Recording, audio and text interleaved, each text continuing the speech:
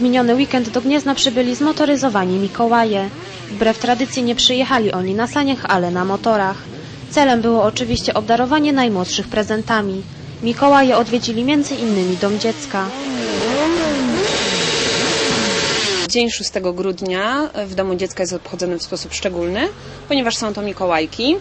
E, Jak co roku są jakieś e, organizowane tutaj e, imprezy. W tym roku przewidzieliśmy przyjazd Mikołajów. Zaskoczyli nas bardzo miło. Odpowiedzieli, odpowiedzieli na nasze zaproszenie. Przywieźli wiele wspaniałych prezentów. Dzieci, jak było zresztą widać, były bardzo zadowolone. Ten dzień myślę, że pozostanie w ich pamięci na bardzo długo. W akcji wzięło udział ponad 50 osób.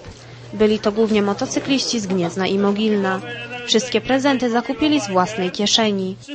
Cała inicjatywa wzięła się w sumie od dwóch grup motocyklowych z y, No Limit Crew z Gniezna i Mogilno Bikers z Mogilna. E, Wspólnie w własnym zakresie pozbieraliśmy między sobą pieniążki po to, żeby zakupić y, różne upominki dla dzieci z Domu Dziecka w Trzemesznie i Domu Dziecka z- Gniezna. Jakie to były upominki? Upominki, no przede wszystkim y, głównie były to słodycze, e, gry planszowe, gry komputerowe.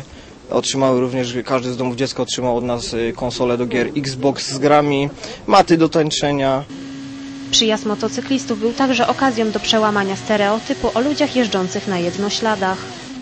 Wiadomo, mamy już 6 grudzień, także są to jakby szanse na wyciągnięcie motocykla z garażu, ale przede wszystkim chodzi tutaj o te dzieci.